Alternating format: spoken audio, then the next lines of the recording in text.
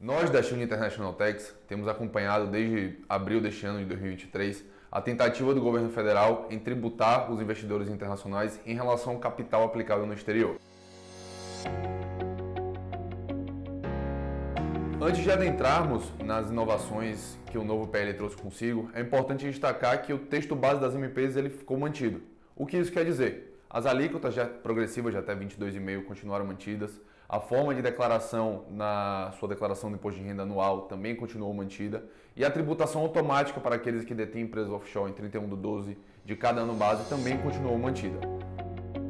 Adentrando agora nas modificações e inovações que o novo PL trouxe consigo em relação aos textos base da antiga MP, é importante destacar que para aplicações financeiras no exterior foi incluso agora nesse momento a questão dos criptoativos e também das operações financeiras, incluindo o mútuo quando o mutuário for não residente. É uma inovação super importante que os investidores internacionais devem levar em consideração. Para as empresas controladas no exterior, essa é a grande inovação que o novo PL trouxe consigo. Por quê? O PL trouxe a possibilidade das pessoas físicas declararem os ativos detidos pelo offshore pela sua pessoa física, na sua declaração de imposto de renda anual. O que isso quer dizer? Que o regime de caixa ele continuará vigente para os seus investimentos internacionais e não mais o regime de competência, cuja tributação será dado 31 do 12 de forma automática para as empresas offshore. O regime de caixa mantido é muito interessante para aqueles investidores cuja a carteira de ativos, o planejamento tributário, tenha sido feito para os investidores cujos ativos de fato são private equity ou então venture capital, cuja liquidez dá-se a longo prazo, ou seja, você investe no ativo, na empresa, no startup, visando o longo prazo, um evento de liquidez a longo prazo. Você mantendo esse regime na sua estrutura offshore é vantajoso, porque a tributação somente será feita no momento que você tiver a distribuição dos lucros ou do, dos rendimentos para a sua pessoa física ao longo desse tempo.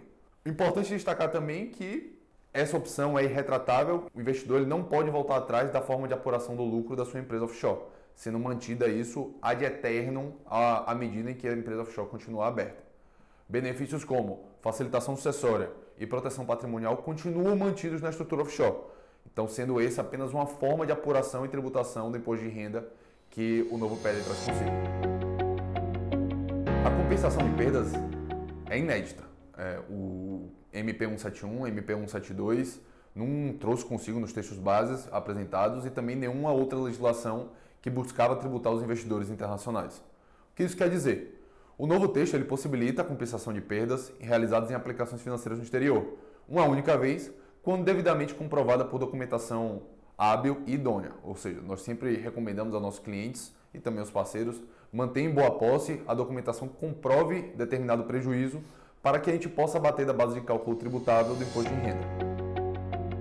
O PL ele trouxe um ponto de discussão muito importante das MPs 171 e 172 que é a, manutenção da isenção da variação cambial entre o lucro apurado e o lucro distribuído. Vamos pensar no seguinte: todo ano em 31 do 12 você vai ter que, caso você não opte por, pela transparência para fins fiscais da sua empresa offshore, você terá que apurar um eventual lucro e nesse lucro ele será tributado pelo imposto de renda. A questão é, caso você não decida ter acesso a esses lucros, você decida ter a manutenção da sua, desse lucro na sua estrutura offshore e possível reinvestimento, não será tributado duas vezes. Ou seja, digamos que você apurou um lucro em 31 do 12 com o dólar valendo a 5 reais. No momento que você distribuir esses lucros para você, o dólar está valendo 6 reais. Teoricamente, você foi tributado um valor menor em virtude do câmbio do dólar e você estará distribuindo para você por um câmbio maior, em virtude da variação positiva do dólar. Essa variação ela não será tributada. Então, existe a possibilidade de você ter a manutenção dos seus ativos na sua estrutura offshore e no momento de distribuição não será tributado duas vezes. O que é que muda pelo novo PL, pelo novo texto? O valor de mercado agora a ser apurado será o de 31 de dezembro de 2023 e o câmbio a ser utilizado para a atualização desses valores será o do último dia útil para o mês de dezembro de 2023. O prazo para pagamento do imposto possivelmente será junto com a declaração do imposto de renda de 2024, que estamos observando aqui que a, a dilatação do prazo, que normalmente é 30 de abril, para 31 de maio de 2024. Ou seja, a apuração do imposto da base tributável em 31 de dezembro de 2023, cujo câmbio será utilizado para o último dia útil de 2023 e o imposto pago em 31 de maio de 2024, possivelmente com a entrega da declaração do imposto de renda.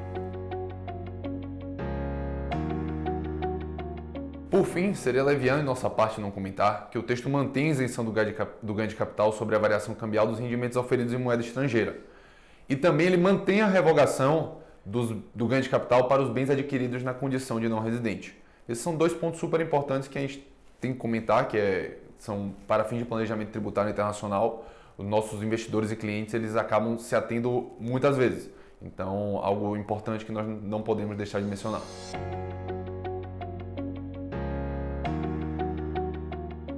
Finalizamos aqui os comentários acerca do PL que foi divulgado essa semana, conhecida como PL das Offshores, e fazemos um resumo sobre a questão da transparência para fins fiscais da sua estrutura offshore e também a possibilidade inédita de compensação entre lucros e prejuízos para os investidores internacionais. É, nós estamos acompanhando de perto esse tema no Congresso, sempre atualizando a nossa base de clientes. E caso vocês tenham qualquer dúvida sobre o tema, podem entrar em contato com nossos assessores pelo QR Code que está aqui na tela.